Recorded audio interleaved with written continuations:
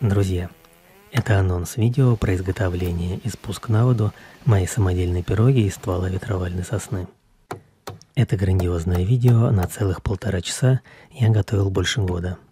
И это второй эпизод девятого сезона моей многолетней попытки обжить дикие скалы в Карельском лесу.